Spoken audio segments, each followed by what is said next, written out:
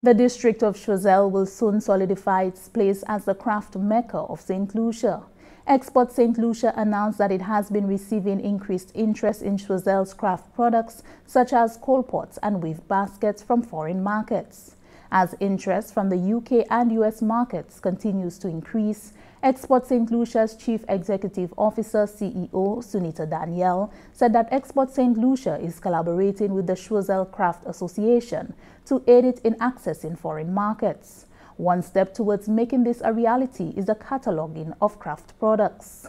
What we're trying to do is to get the craft items online and for sale um, by the outside customers and so they'll be able to access coal pots, um, weaved baskets, anything that the crafters have um, and they'll be able to access those online.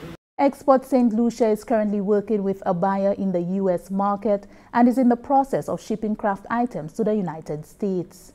Anticipating the growth of St. Lucia's craft industry, the CEO explained that there are plans to expand to other communities. One of the things that Export St. Lucia does is because we're a development agency is that we fill in any gaps that the, the producers themselves are experiencing. So for example, if we see that there is additional need to um, beef up their own expertise, we do that for them. And so um, we do a lot of hand-holding of our clients. Um, we don't believe anybody should be doing it alone. There's a lot of that until we can say, okay, we let you go and do what you have to do. So we will be starting with Choiseul, but we do expect to um, really develop a comprehensive program for craft um, throughout the island. Export St. Lucia assured its commitment to the growth and development of St. Lucia's craft industry, finding new ways of supporting the industry and meeting the demands of foreign markets.